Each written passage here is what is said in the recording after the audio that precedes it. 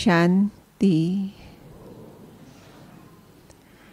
निर्मल आश्रम कहकर स्वयं भगवान जिन्हें संबोधित करते हैं, सम्मानित करते हैं, ऐसी निर्मलता की मूर्त, पवित्रता की देवी, आदरणीय राजयोगिनी डॉक्टर निर्मला दीदी जी, हम सब के बीच में विराजमान है। हम रूहानियत की इत्र छिड़कते हुए, एक हाथ हिलाते हुए दीदी का स्वागत करते हैं, सत्कार करते हैं, अभिनंदन करते हैं। यज्ञ की स्थापना 1936 में हुई और दीदी का लौकिक जन्म 1935 में हुआ।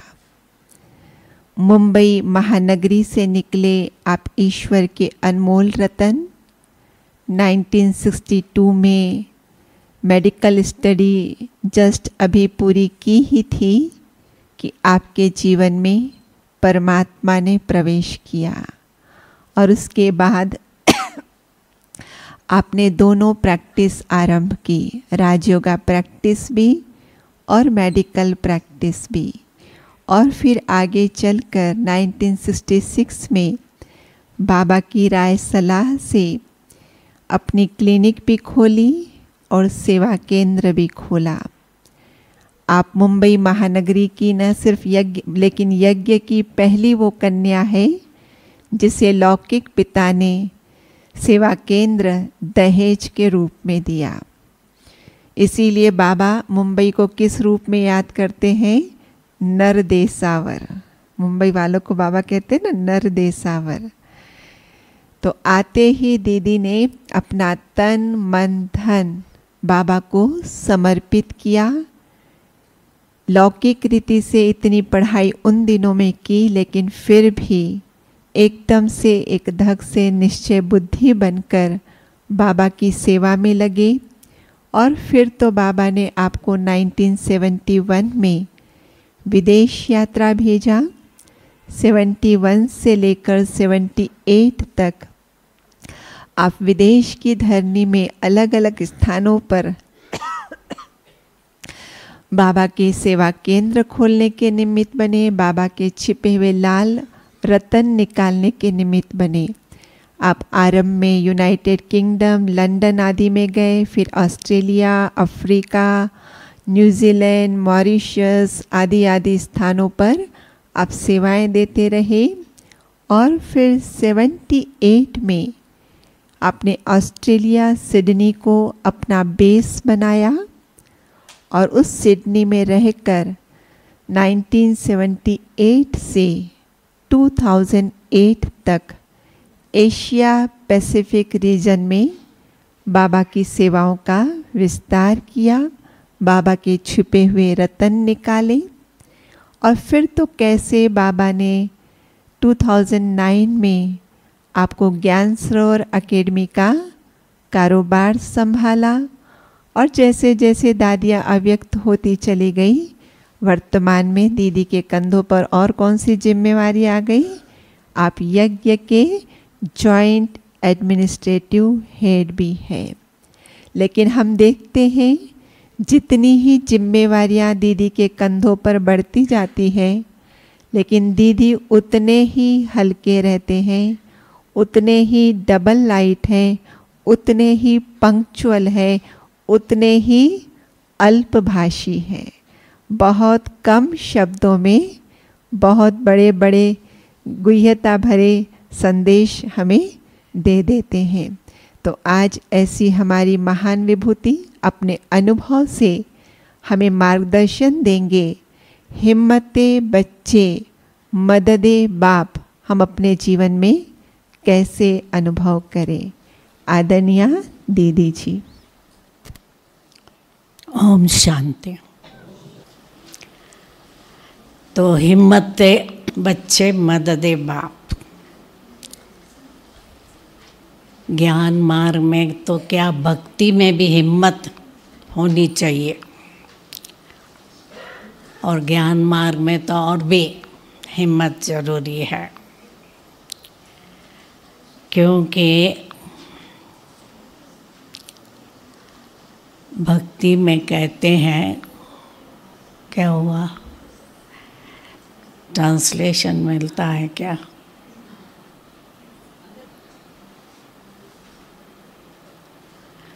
भक्ति में भी कहते हैं, गुजराती में हरिनो मार्ग छे सुरानो कायरनो कोई काम नहीं। कायर भक्ति में नहीं चल सकते हैं। तो ज्ञान में तो और भी हिम्मत चाहिए, क्योंकि ज्ञान में विरोध ज़्यादा होता है। सबसे पहला विरोध होता है घर वालों का। क्योंकि हमारा सब कुछ निराला है। खाना, पीना, उठना, बैठना, सवेरे उठना,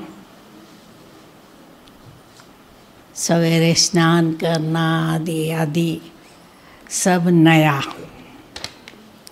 इसलिए घर वाले पहले विरोध करते हैं।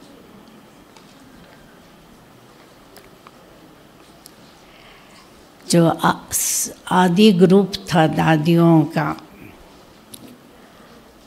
उसमें मनमोहिनी दीदी की माता और चाची और चाची की दो लड़कियाँ और उनकी बहन उनको सात ताले में बंद रखते थे,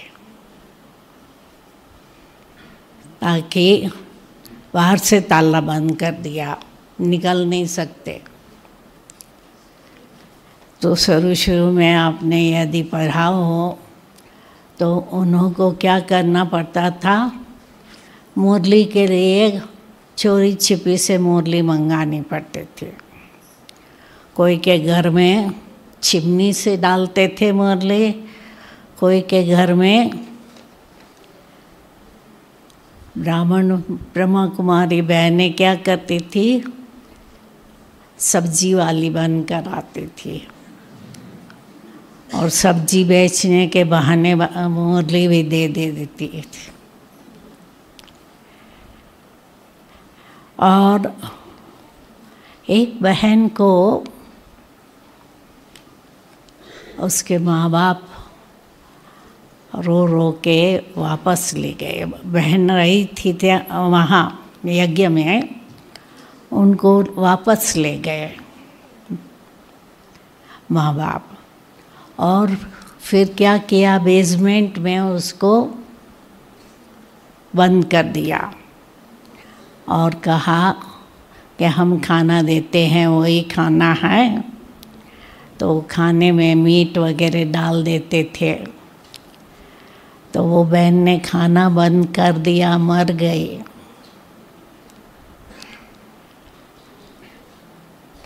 कहा कि हम मर जाएँगे, पर नॉन वेज नहीं खाएँगे।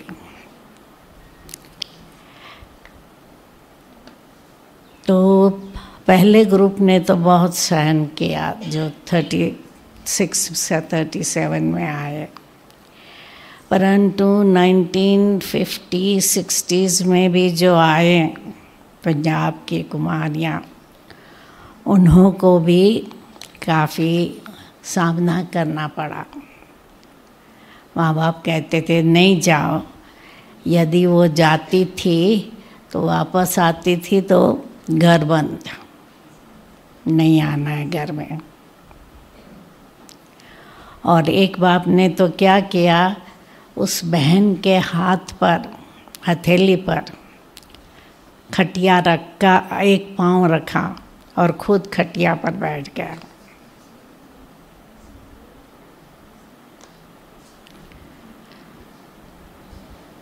तो ऐसे ऐसे काफ़ी सहन करना पड़ा इन्हों को, क्योंकि आप जानते हैं, पंजाब वाले लड़ाक होते हैं।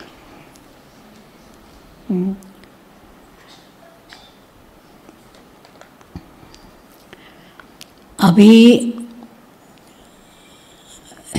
हिम्मत होनी चाहिए,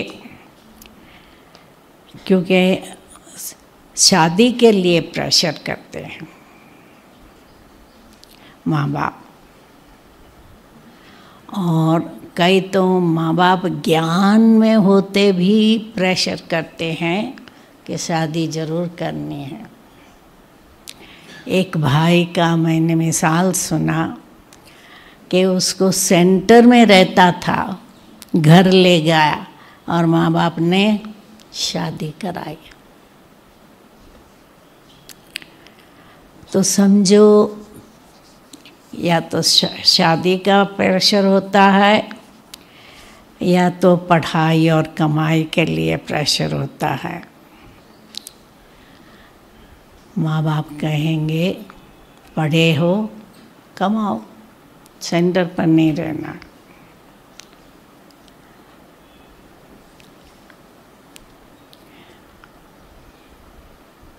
खान पान के लिए सामना करना पड़ता है।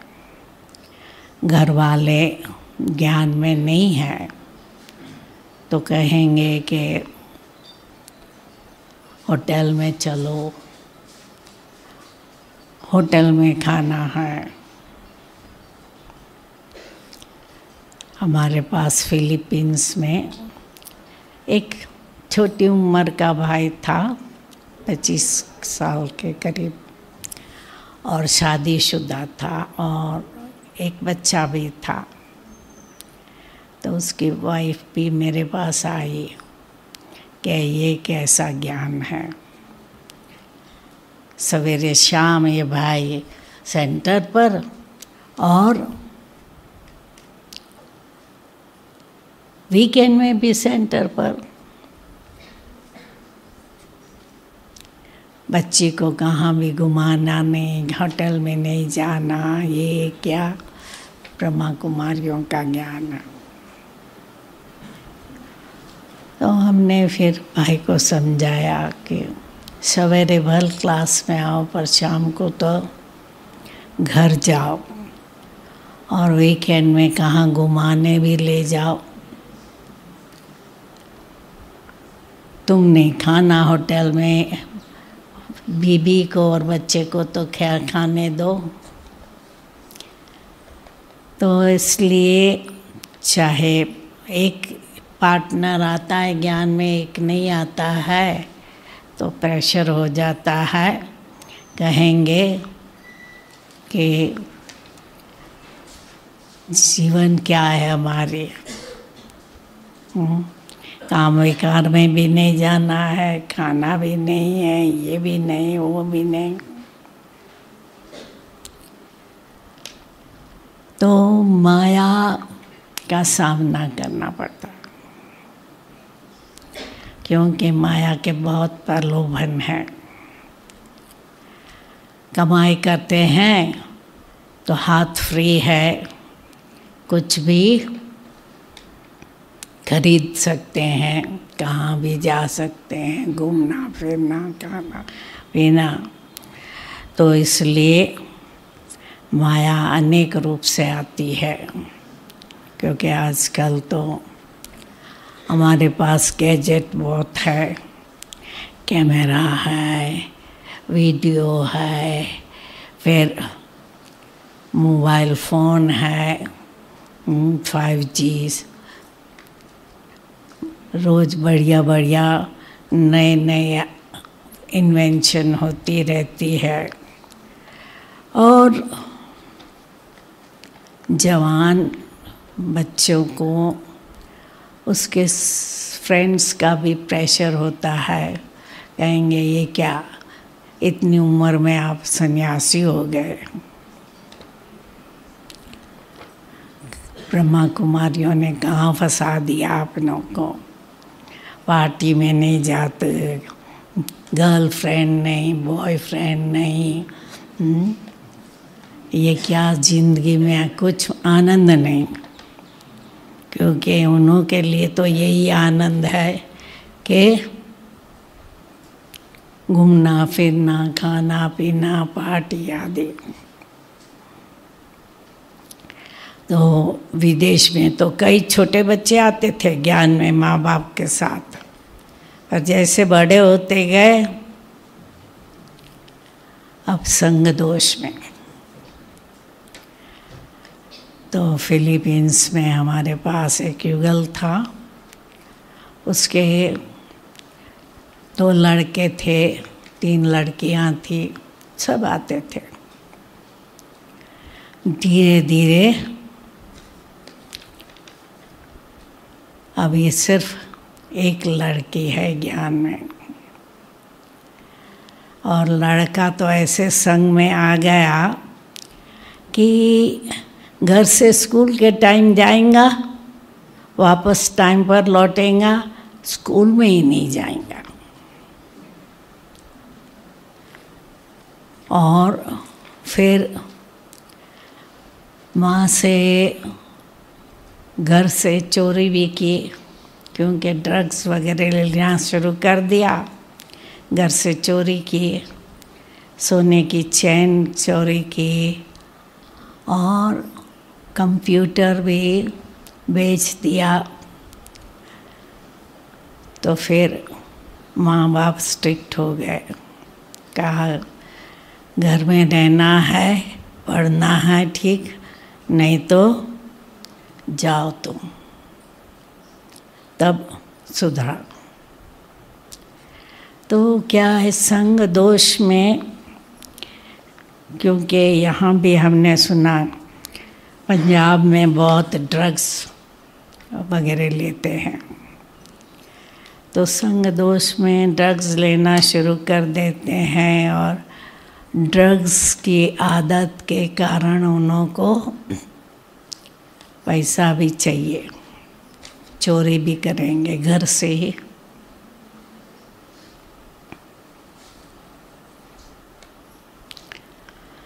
तो माँ बाप का सामना करना कि मुझे शादी नहीं करनी है। या फ्रेंड्स का सामना करना कि मुझे पार्टी में नहीं जाना है। और सिंपल लाइफ जीना है। क्योंकि हमारा जीवन सन्यासी जैसा ही है कितनी चीज़ें छोड़ते हैं। तो हमारा तो बेहद का सन्यास बाबा कहते हैं, उन्हों का तो हद का सन्यास। हमारा बेहद का सन्यास है। तो इसलिए सामना करने के लिए पहले तो हमें निश्चय होना चाहिए कि ये बाबा का मार्ग है, सच्चा मार्ग है और एक जन्म की त्याग करने से हमें इक्कीस जन्म का भाग्य बनता है। तो इक्कीस जन्म का भाग्य बनाने के लिए नेचुरली त्याग करना सहज हो जाता है। फिर सेवा करने के लिए भी हिम्मत चाहिए, क्योंकि भाषण करना है, सामने सभा है तो हिम्मत नहीं हो तो भाषण नहीं कर सकते। वीआईपी की सेवा करनी है, उसके लिए भी हिम्मत चाहिए। नहीं तो सोचेंगे वीआईपी है, उसको क्या बताएँ।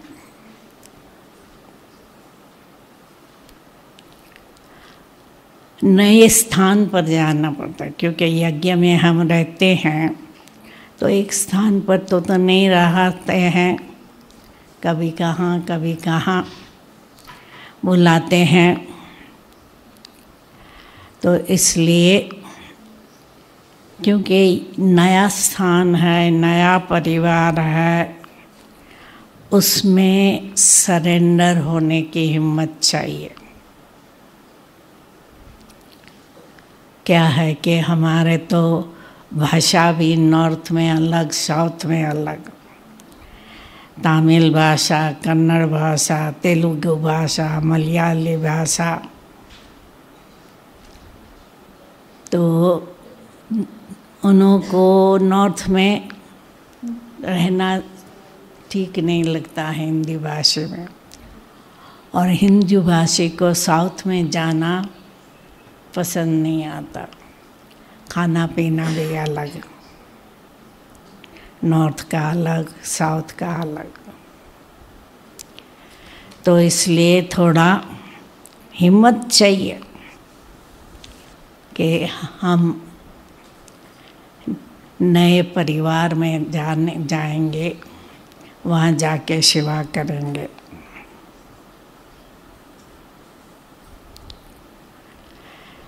तो जितनी हिम्मत है, उमंग है, उल्लास है तो हम उठते रहेंगे। तो दुनियावी बातें, बाधाएँ हमें रोक नहीं सकती। यदि हिम्मत नहीं है तो जो विघ्न आते हैं, जो सामना करना पड़ता है, वो थोड़ा कठिन लगता है। और हम लोगों ने देखा है कि मेहनत का काम होता है, परंतु यदि हम खुशी खुशी से चलते हैं तो मेहनत भारी नहीं लगती।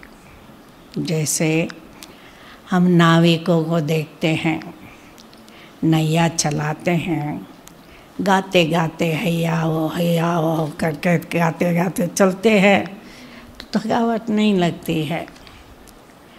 ऐसे हम भी खुशी खुशी से मेहनत करते हैं, क्योंकि बाबा रोज़ कहते हैं कि जितना श्रीमत पर चलेंगे, मुझे याद करेंगे तो आपको वर्षा मिलेगा।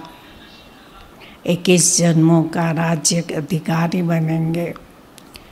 बाबा तो रोज़ कहते रहते हैं, परंतु इसके लिए हिम्मत होनी चाहिए। तो पहले परिवार से लड़ना पड़ता है और अंत में अपने ही संस्कारों से लड़ना।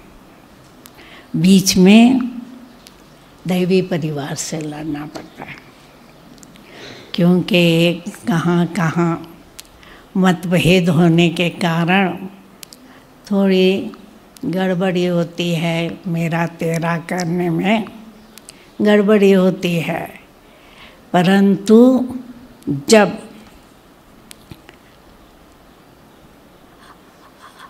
अपने संस्कारों से लड़ना है, क्योंकि संस्कारों को परिवर्तन करना है तो अपने से ही लड़ना पड़ता है।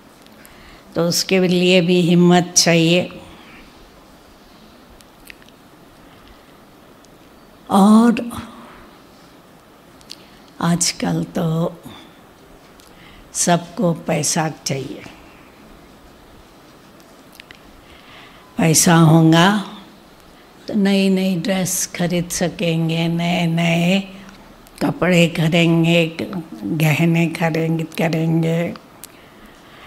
तो पैसा होने से फ्रीडम हो जाती है कि हम फ्री है, जो चाहिए खरीद सकते हैं। और कईयों को ये चिंता होती है कि हमारे भविष्य में क्या हमारी सिक्योरिटी। ब्रह्मा कुमारियाँ हमको सेंटर से निकाल देंगी। तो हम क्या जाएँगे? कहाँ जाएँगे?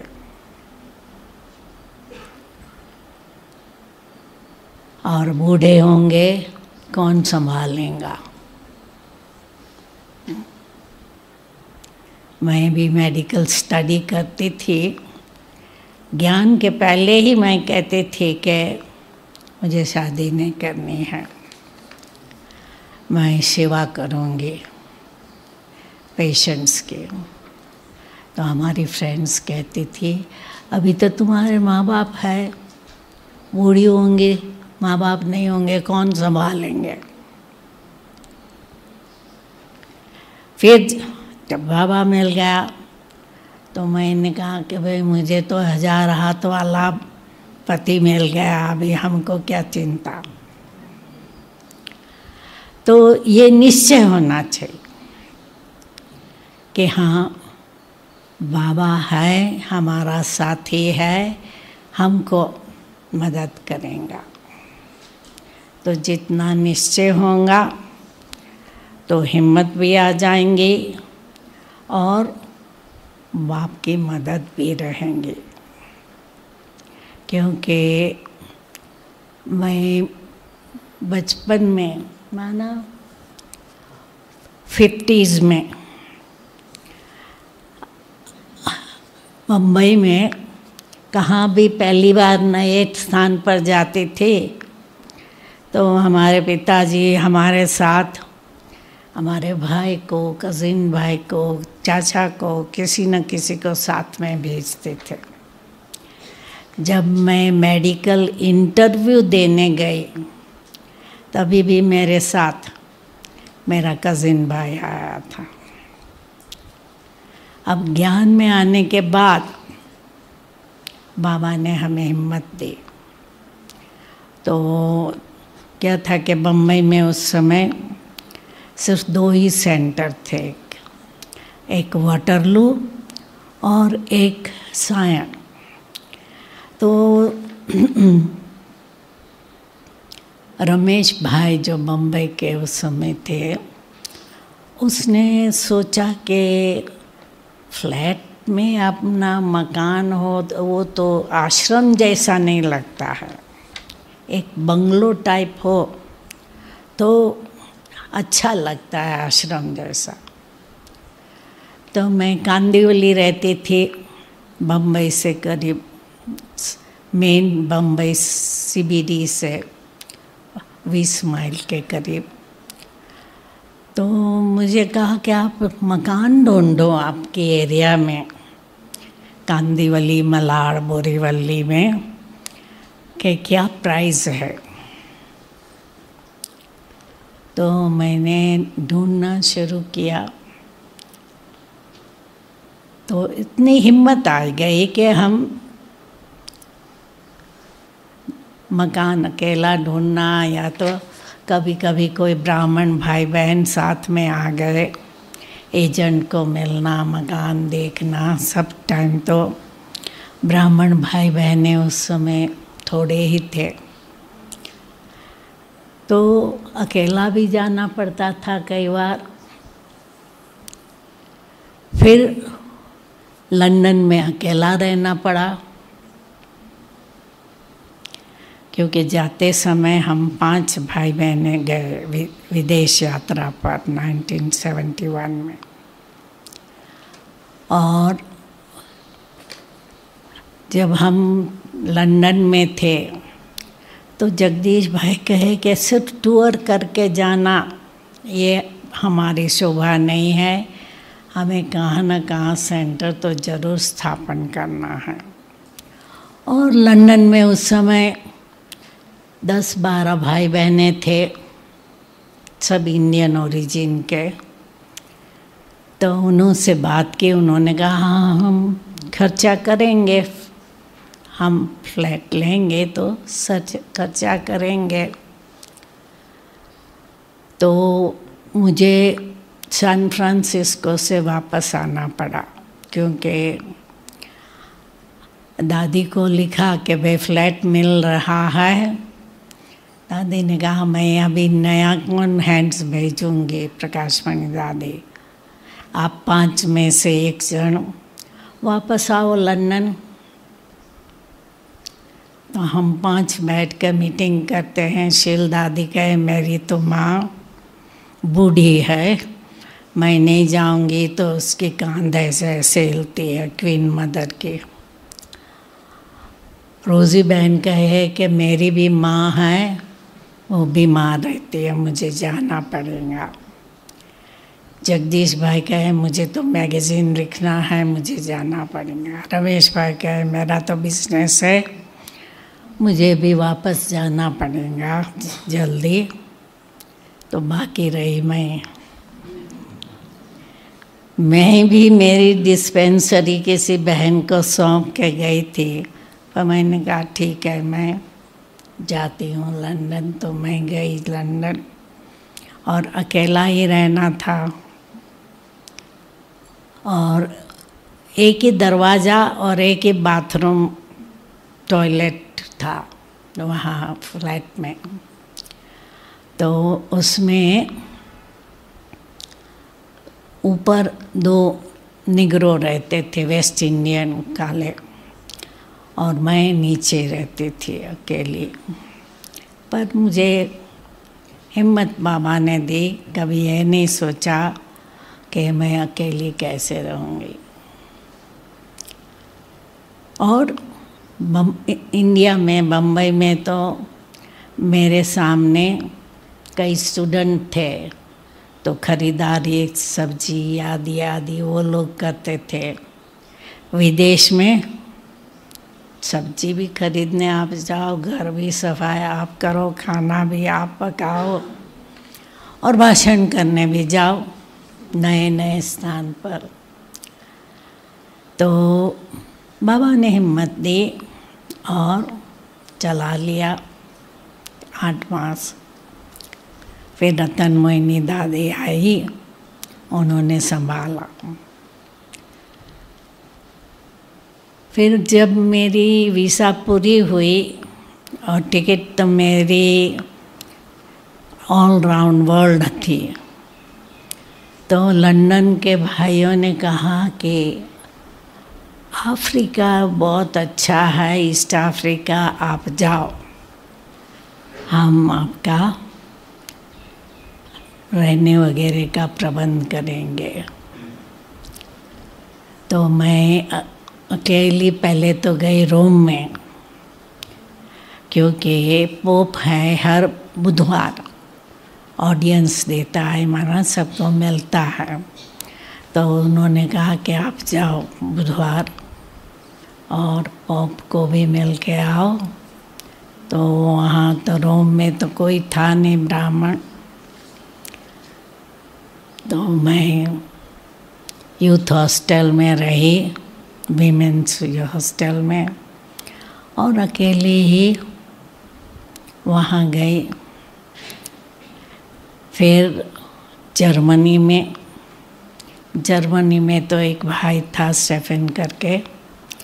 तो उसने प्रबंध किया रहने का और घुमाने का और प्रवचन का।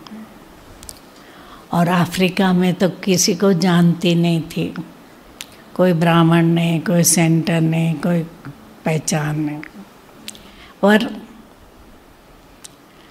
जैसे बाबा ने प्रबंध कर दिया और वो भाई ने प्रबंध किया, कोई एयरपोर्ट पर आता था, फिर एक शहर से दूसरे शहर बस में जाते थे तो एक शहर वाला छोड़ के जाता था, एक दूसरे शहर वाला लेने आ जाता था। और घुमाते भी थे, मीडिया में जाना है, न्यूज़पेपर में, रेडियो में, टेलीविज़न में घुमाना भी और प्रवचन भी हिंदू मंदिर में या हिंदू ऑर्गेनाइजेशन में करते रहे। तो वो मैं तो सहज हो गया। पर जहाँ रहते थे वहाँ उनको कहना पड़ता था, मैं खाना पकाऊँगी। तो वो कहते थे, ठीक है, दाल चावल कुकर में चढ़ा दो, दाल चावल आप बना दो, सब्ज़ी हम काट देंगे, आप बना लो, आटा आप गूंद लेना, आप दो रोटी अपनी बना लेना, हम अपना बना लेंगे। उनको दुख तो होता था। क्योंकि साधु संत आदि जब आते हैं तो माल पानी बनाते हैं। और ये तो दाल चावल रोटी ही बनाती है खुद ही। पर उन्होंने मदद की। तो तीन कंट्री में मतलब केन्या, युगांडा टांजानिया तीन कंट्री में, ग्यारह बारह शहर में मैं अकेली घूमी तो बाबा इतनी मदद करते हैं। और फिर ऑस्ट्रेलिया का निमंत्रण आया। तो ऑस्ट्रेलिया से जब वापस जाती थी तो उन्होंने कहा कि न्यूजीलैंड, फीजी में बहुत इंडियन है। आप जाओ वहाँ। मैंने कहा, ठीक है। तो मैंने सबको पत्र लिखा इंडियन एसोसिएशन हर शहर में। किसी ने जवाब नहीं दिया। और शिवानंद स्वामी का वहाँ आश्रम था। वो वहाँ का गोरा भाई चलाता था। उसने लिखा कि आप एयरपोर्ट से सिटी टर्मिनस पे आ जाना और हम आपको वहाँ किसी को लेने भेजेंगे। तो मैं सिटी टर्मिनस पर रात को एक बजे पहुँची। कोई नहीं आया था और सब बंद था। तो मैंने पाँच मिनट रास्ता देखा, फिर कहा कि अभी तो यहाँ अकेला कैसे कितना समय में खड़ी रहेंगे? क्योंकि टर्मिनस भी तो बंद हो जाता है रात में। तो मेरे पास उनका जो एड्रेस था, पत्र व्यवहार किया था, उन्होंने किया था ऑफ़िस। तो एड्रेस मेरे पास ऑफ़िस का था। मुझे तो मालूम नहीं था कि ये ऑफ़िस का एड्रेस है तो हमने टैक्सी ड्राइवर को एड्रेस दिया। तो वो ले आया तो ऑफ़िस तो बड़ा गेट था बंद। तो ड्राइवर कहे अच्छा था ड्राइवर। ने कहा, चलो हम फ़ोन करें। तो फ़ोन किया तो कहा कि भाई तो आपको लेने आया था, पर रास्ते में गाड़ी ख़राब हो गई। इसलिए अब हमारा एड्रेस है हैंडरसन आश्रम में। वो शहर से आठ किलोमीटर दूर था, वहाँ आ जाओ आप फिर टैक्सी ड्राइवर ले गया वहाँ। और वहाँ पहुँची तो उनके आश्रम में भी कुछ समय पहले आग लगी थी।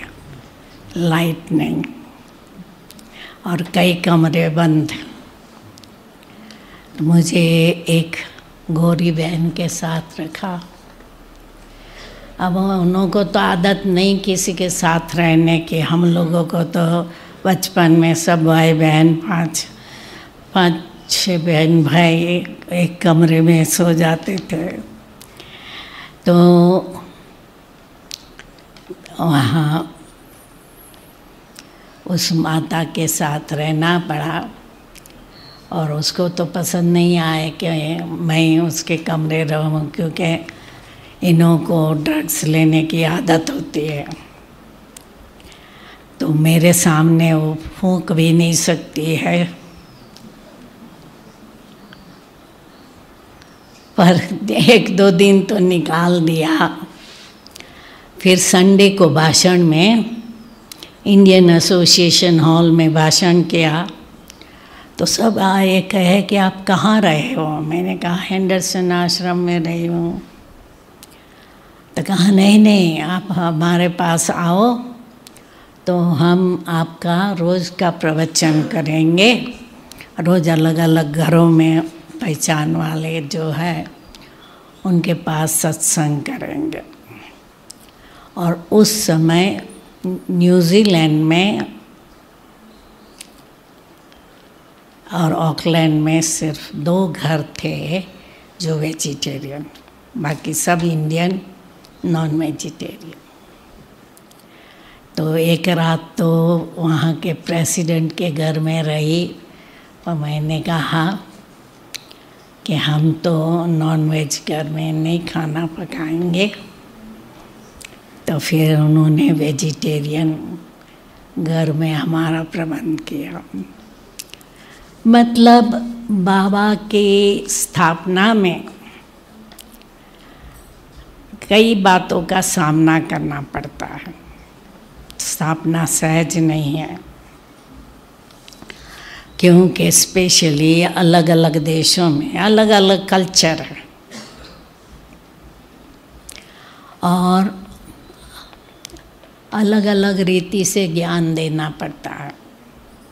जब मैं पहली बार सिंगापुर गए तो कहा, आत्मा के बारे में बल ज्ञान देना पर परमात्मा का नाम नहीं लेना। ये कंट्री तो सोशलिस्ट है। इसलिए, और क्या करते थे उस समय? प्रवचन जहाँ भी होता था, हम लोगों को परमिशन लेनी पड़े। और क्या क्या फॉर्मेट होगा वो बताना पड़े। और उसके कोई सीआईडी आकर भाषण सुने। और देखे कि यदि ये रिलीजियस है तो कहेंगे छुट्टी नहीं है। तो इसलिए संभल संभल के बोलना पड़ता है। निर्वैर भाई पहली बार आया ऑस्ट्रेलिया में। तो अभी भी ऐसे ही हुआ कि जो उनको ड्राइव करने, करके ले जाता था, वो कहा कि ये जिलोंग तो है ना, बहुत क्रिश्चियन है, इसलिए आप परमात्मा का परिचय नहीं देना। निर्वैर भाई कहे कि मैं भगवान का परिचय देने तो आया हूँ। भगवान का नाम ना लेवे तो क्या फ़ायदा? तो उसने तो पूरा बाबा का परिचय दिया। और 86 में जब मिलियन मिनट्स ऑफ़ पीस का प्रोजेक्ट चला, तभी भी विदेश वाले कहे कि हम भगवान के बारे में नहीं बताएँगे। सिर्फ़ गाना, ये बजाना, ये वो। पीस के लिए कि मेडिटेशन करो प्रेयर करो पॉजिटिव थॉट रखो, आदि आदि, बताते थे। तो उन्होंने तो नाम नहीं लिया भगवान का, पर रेडियो का इंटरव्यू लेने वाला कहता है कि आप इतना बड़ा कार्य करते हो, इतने थोड़े हो ज़रूर भगवान का हाथ होगा आपके पीछे। तो क्या है कि अलग अलग टाइम पर अलग अलग रीति से बोलना पड़ता है। अभी भी यूरोप वगैरह में क्या करेंगे? सुप्रीम बींग कहेंगे, भगवान नहीं कहेंगे, क्योंकि कईयों को भगवान नाम गॉड बोलने से ही वो अपने को ऐसे बंद कर देते आगे सुनना ही नहीं है। तो मैं समझती हूँ, अभी तक भी सोच सोच के बोलना पड़ता है। कुछ समय तो फ्रांस में, जर्मनी में, ब्रह्मा कुमारियों को कोई प्रवचन के लिए हॉल ही नहीं दे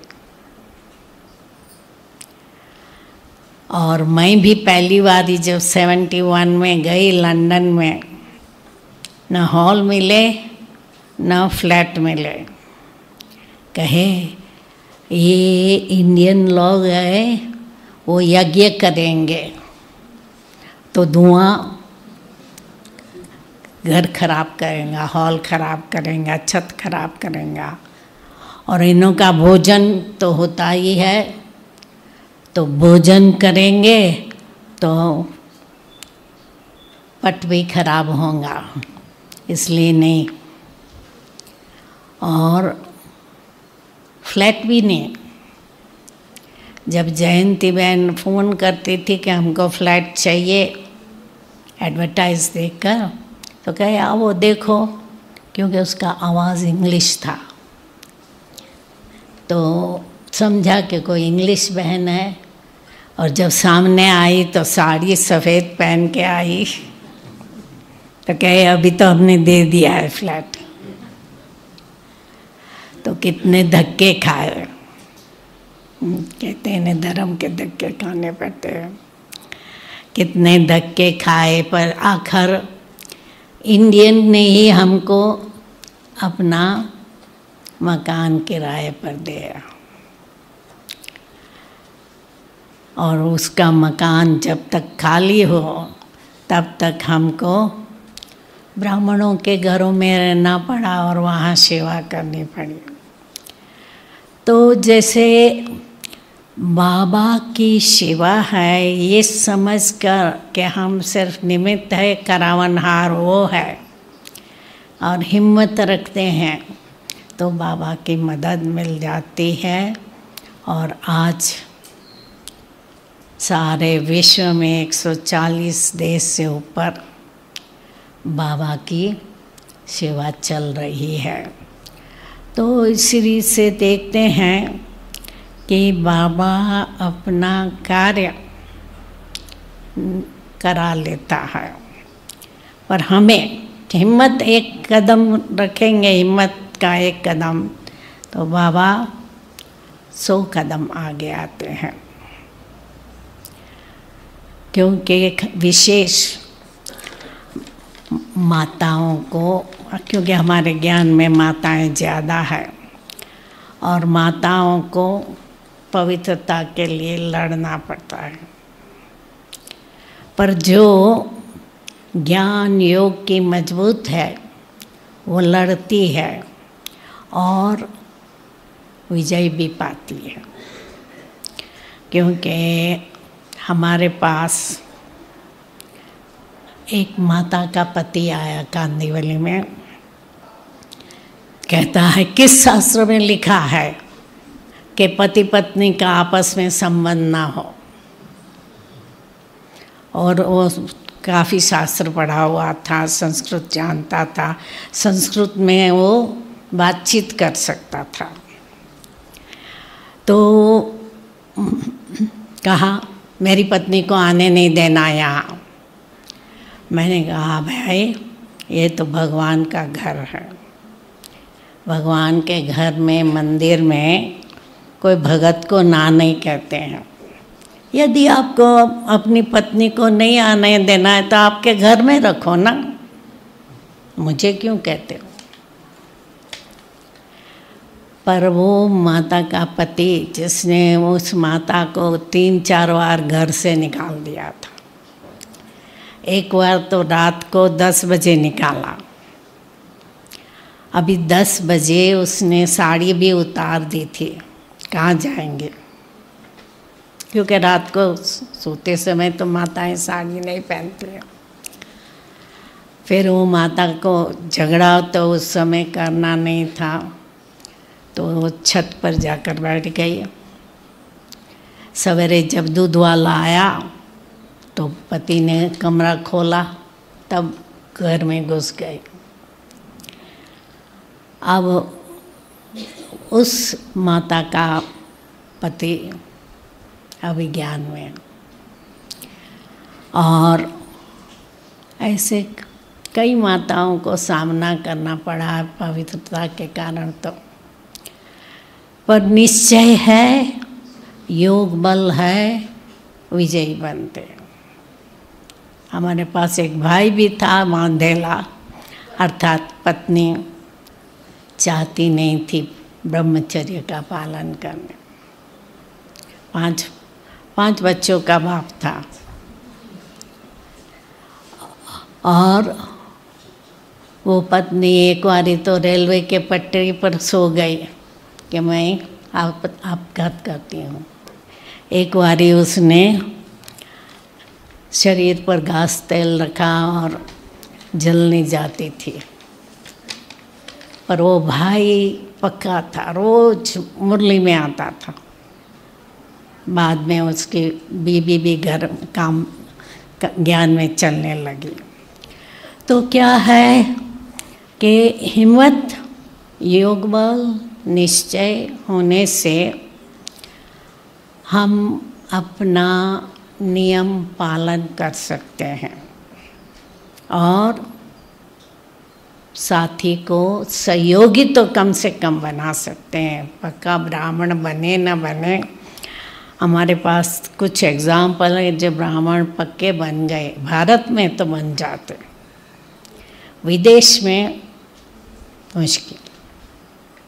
क्योंकि वही उनका एंटरटेनमेंट है ना। बाबा कहते हैं ना, काम विकार को बूढ़ा होता है तो भी छोड़ नहीं सकते। काम करो, सदैव जवान रहते हैं। तो विदेश में तो माताओं को छुट्टा छुट्टा होना पड़ता है डाइवर्स रहना पड़ता है। और अलग हो जाते हैं।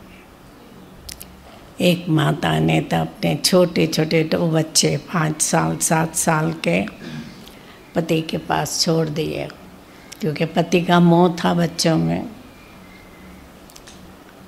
और अलग हो गई हम माताएँ तो कमाती है तो इसलिए अलग होने में उन्हों को इतनी तकलीफ़ नहीं, जितनी यहाँ। यहाँ तो समाज का सामना करना पड़ता है। नौकरी मुश्किल करते हैं तो पैसे के कारण भी सितम सहन करने पड़ते हैं। तो बाबा का ये कार्य है, ये हिम्मत, निश्चय और योग बल से चलता रहता है और जिनों को सामना करना पड़ता है। विघन तो बहुत आते हैं। परंतु हिम्मत है तो उसको पार कर लेते हैं। क्योंकि बाबा ने तो अभी उड़ती कला का मैसेज दिया है कि उड़ती कला में रहो, ऊपर हो, नीचे के विघ्न है। छोटे लगेंगे। जितना ऊपर रहेंगे, इतने विघ्न छोटे रहेंगे। तो इसलिए उड़ती कला में रहना है और विघ्नों को पार करना ओम शांति। दो मिनट बाबा की याद में तो दीदी के मार्गदर्शन से अवश्य सभी को लाभ मिला होगा। हम